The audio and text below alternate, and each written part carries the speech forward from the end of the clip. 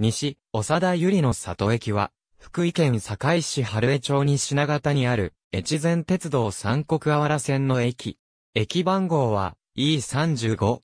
福井県道5号線の西長田交差点付近の集落側でも、幹線道より集落を入ったところにある。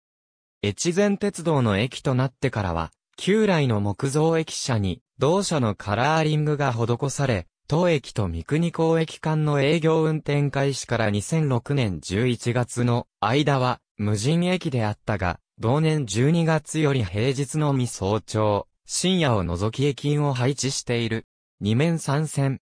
駅舎に接し待合室とつながる単式ホーム一面一線が三国港方面、構内遮断機のついた通路で連絡する。島式ホーム二面二線の西側が、福井方面である。上り線、下り線ともに両方向に出発信号機があり、各線に到着した列車は、折り返し運転が可能である。下り線からの折り返しは、当駅発の列車や、試運転列車等により日常的に使用されている。上り線の三国方面への出発信号機は、開業後設置された。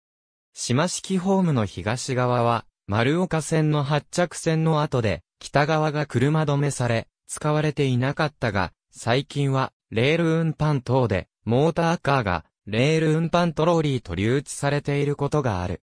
島式ホームの東隣には、開業当初、屋根だけカラーリングされた、保線小屋が残っていたが、現在は撤去され、西側にあった、変電所が移転した。その際側線も短縮された。平成30年堺市統計年報によると、1日平均の乗車人員は以下の通りである。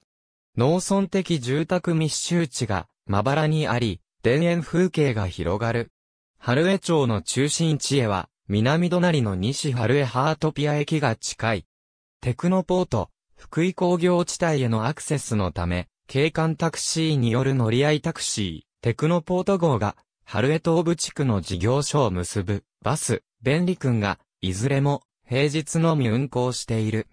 なお、いずれもデマンドバスによる、運行のため、乗車には事前に予約が必要となる。西長田駅に関するカテゴリー。ありがとうございます。